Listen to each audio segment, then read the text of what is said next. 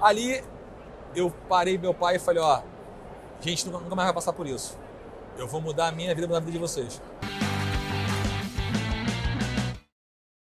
Quando o inconformismo cria oportunidades. Ele empreendeu no exterior, voltou ao Brasil, criou a sua própria marca e hoje assume outras marcas num grupo gastronômico que não para de crescer. Eu tenho o prazer de entrevistar o sócio e fundador do Espeto Carioca, Leandro Souza.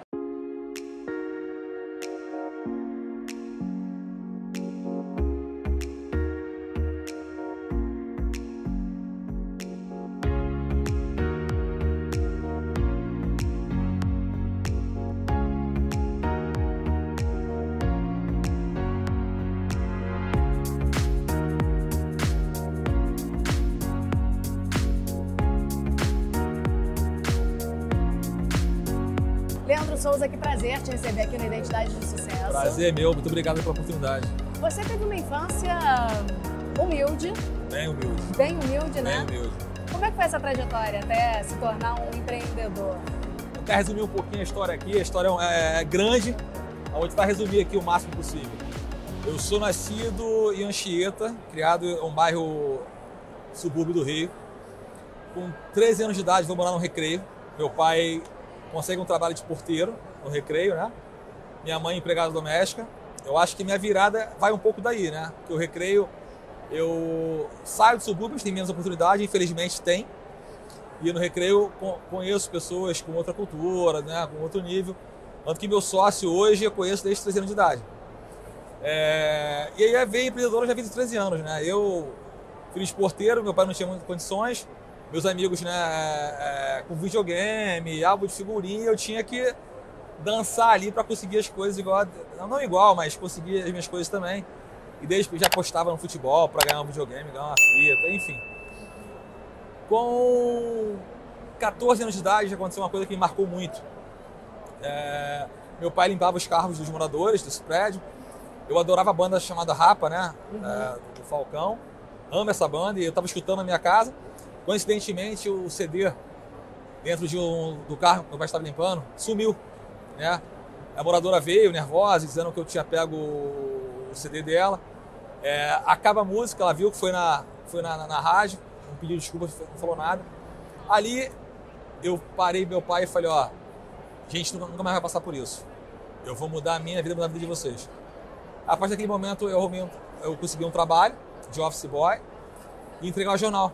Jornal de bairro pela, pelas ruas do recreio, né?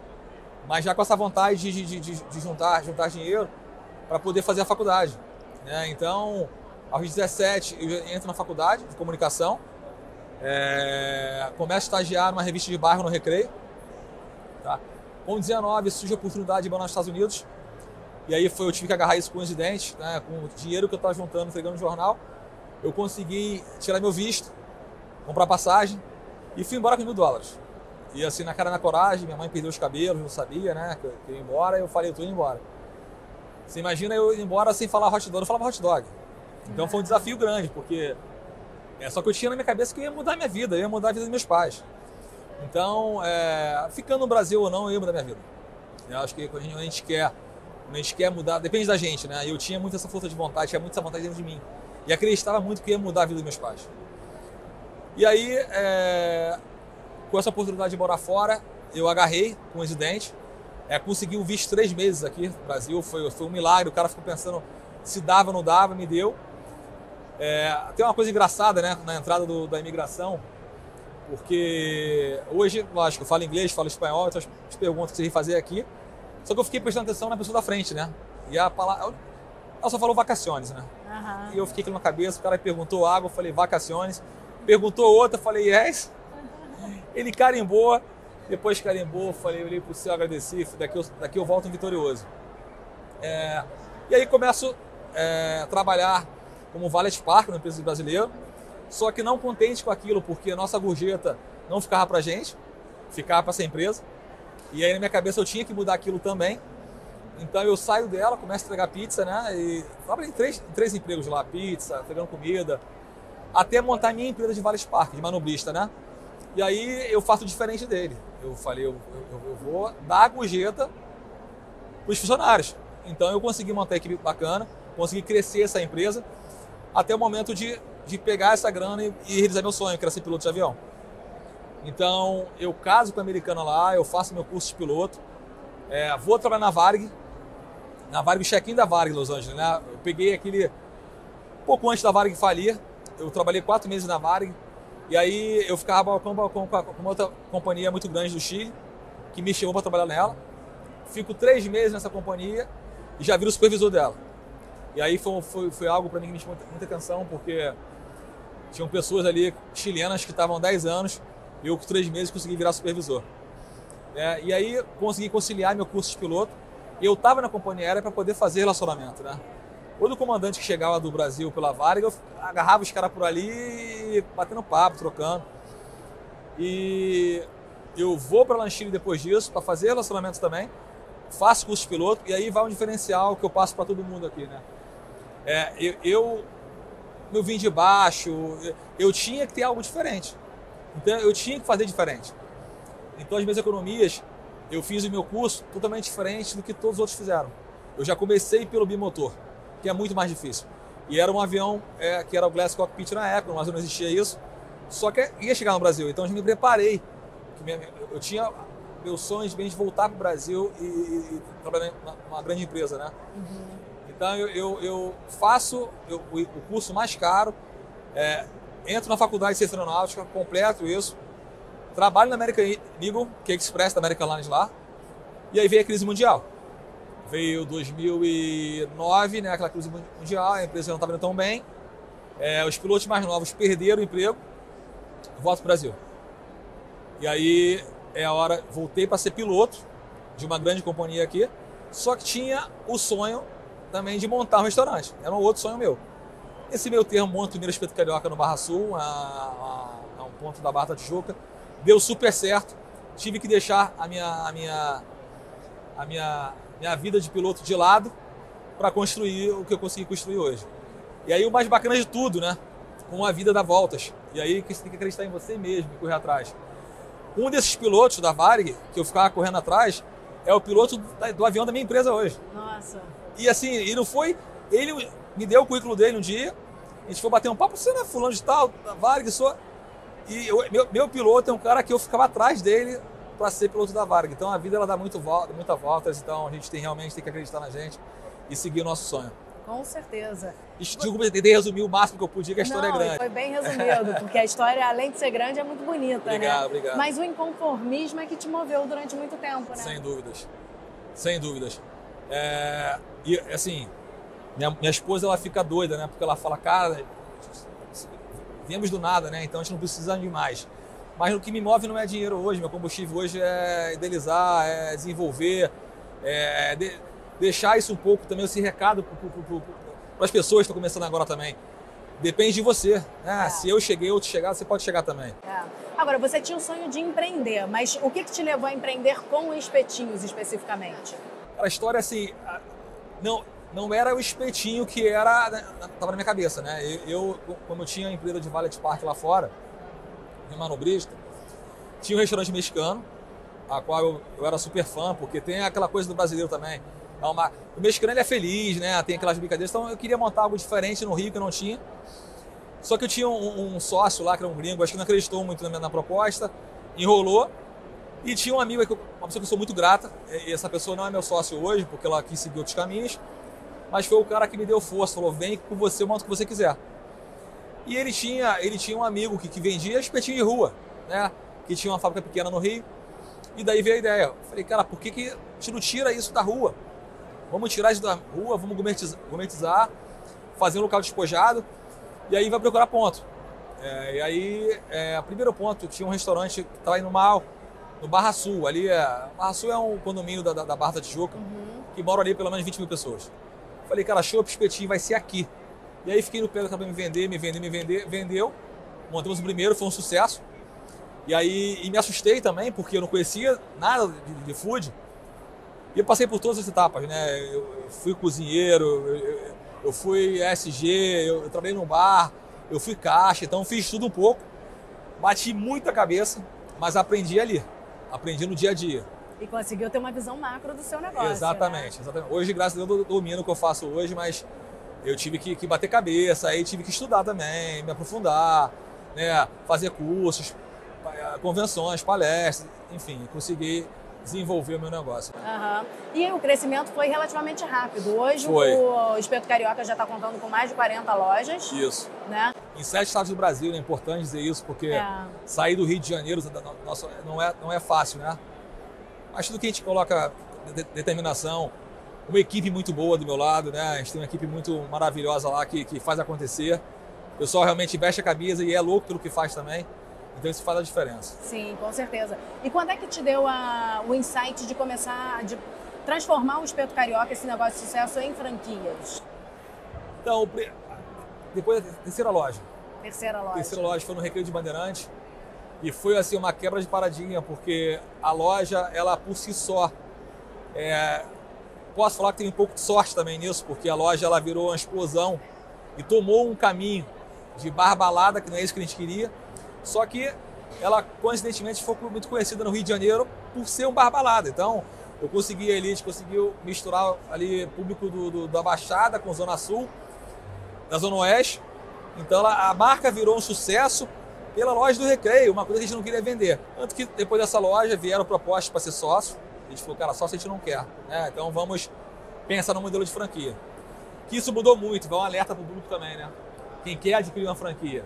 No nosso tempo, a gente contratou uma empresa, ficamos dois anos trocando com essa empresa, é, dois anos de, de- de operação funcionando para poder botar isso no mercado. E com muita responsabilidade, a gente falou, vamos botar no mercado isso agora. Então, a partir daí, formamos um organograma, né, uma equipe com RH, com financeiro, montamos um escritório e começou a venda de franquia. Que é até um toque para o público aí, que hoje está um pouco banalizado isso, né? As marcas estão aí com o mês de operação, já estão vendendo franquia.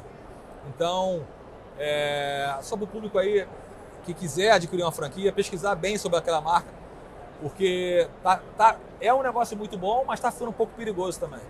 É, como tudo, né? A pessoa tem que, antes de entrar em qualquer negócio, o- esse aspirante a empreendedor, ele precisa se calçar de informações, Exatamente. de dados, é, entrar em contato com os franqueados para saber. Isso é muito importante. Eu peço isso para os nossos candidatos. Aham. Eu falo, ó, eu vou te dar o telefone de todos, todos os nossos franqueados e você vai escolher quem você quer ir, vai, vai alguns, vai em todos, se você quiser, aham. e bate um papo com cada franqueado.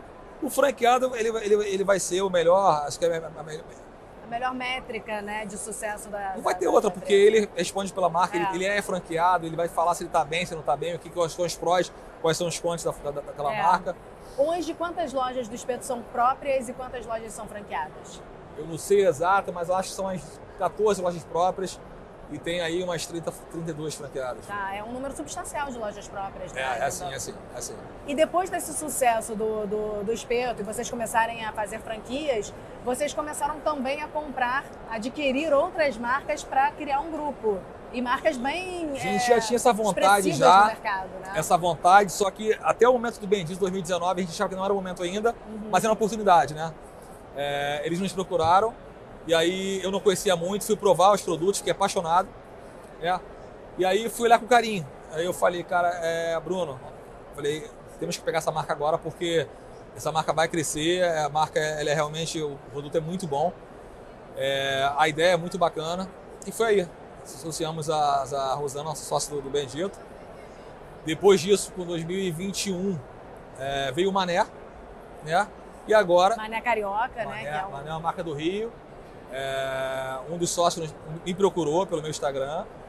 E eu, naquele momento, também estava com a ideia de montar uma outra marca de bar. Só que eu me apaixonei pelo negócio também. né? Foi um namoro ali de uns quatro meses até a compra do negócio. E hoje aí, começamos com 10 lojas, vai para 27 agora, né? Muito Então, bom. tá um crescimento bem um bacana também. Excelente. Hoje o portfólio de vocês conta com quantas marcas? Nós temos o Espeto Carioca, né? Bendito, nossa cafeteria, o Boteco Original, que é um bar, e o Mané, que é um bar. E estamos, vamos, vamos é, inaugurar mais uma marca, vamos montar uma marca para o ano que vem agora. Aham. Montar uma marca. Vai ser mais uma. Mais, Marca vai ser um restaurante, marca própria. Tá. Tudo de vocês gira né, nesse, nesse segmento da, da gastronomia, né? Da alimentação. A gente tenta. Tá aberto a outras coisas também, mas a gente tenta seguir, seguir gastronomia, que é o que a gente domina bem. A gente tá, é, é confortável em fazer, né? Em desenvolver. Sim, aí eu, eu entendo que você também consegue criar um benchmarking ali Consigo, entre os seus negócios, né? Apesar de ter um pouquinho, alguns têm um público um pouquinho diferenciado do outro, mas É, mas a gente são coisas, são ideias, são, são públicos diferentes, mas a gente consegue juntar, né? O Mané e o Espeto a gente tem em Cabo Frio hoje, uma collab. Eu otimizo, né? Eu tenho duas marcas em uma. Aham. Então tem, tem uma cozinha só, eu tenho um bar só. Então a gente vai abrir em Goiânia, abrir o Espeto agora, vai entrar um Mané do lado também. Então a gente está otimizando também. Muito Otimiza o bom. custo, né? muito bom. E o Mané Carioca tá indo pro exterior agora, né? Mané e Espeto, Isso. né? Nós O vamos Mané e o abrir Espeto, as duas é. no exterior. Isso é novidade Vai ser uma collab também, feira, vamos otimizar lá, vai ser um bar só. Ah, é? Novidade, primeira mão. Vai ser, Primeira vai ser mão. um bar, é, banheiro, uma cozinha para as duas marcas. Né? Tá. Isso em Orlando, né? Orlando, Orlando. Orlando. Final do ano tá vendo essa.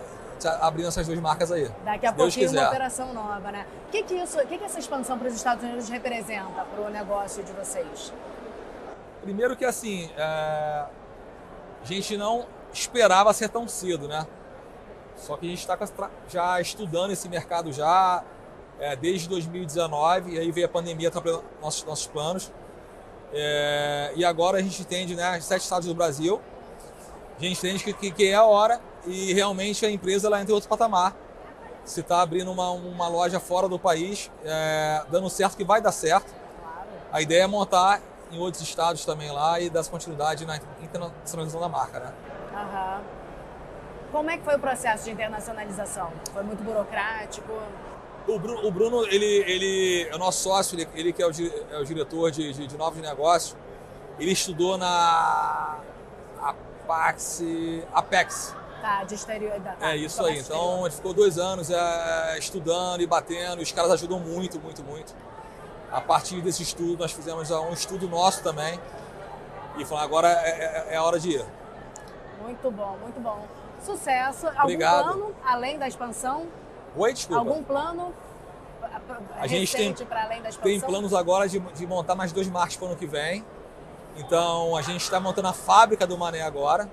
Ah, né? A gente está montando a fábrica do Mané. O Espeto já tem seu frigorífico próprio, né? que entrega tudo pronto para os franqueados. E o Mané vai ter sua própria, sua própria fábrica agora também. Vamos entregar tudo prontinho aí e botar os produtos do Mané no mercado também. no mercado Como o do varejo. Espeto, com varejo. O Espeto já nós temos alguns, alguns supermercados, né? Uhum. E os produtos do Mané já já vocês vão ver no- no- no- no varejo também. Ótimo saber quais praças. Rio de Janeiro, São Paulo? Rio de Janeiro e Brasil? São Paulo por enquanto. Tá, então o piloto é Rio, Rio São de Paulo. Janeiro e São Paulo. E para finalizar, sucesso para você. Qual é o Obrigado. conceito? Obrigado. Sucesso é dedicação, acreditar no seu sonho e nunca desistir. né? eu acho que é, que é por aí. Parabéns pelo programa, obrigado pela oportunidade. Pessoal, parabéns aí, boa sorte a todos que querem empreender aí. E vamos que o Brasil precisa de vendedores novos, né? Então, se eu cheguei, outros chegaram, vocês vão chegar também. Obrigado pela, pela audiência aí. Muito obrigada, Leandro. Obrigado, tá? Prazer.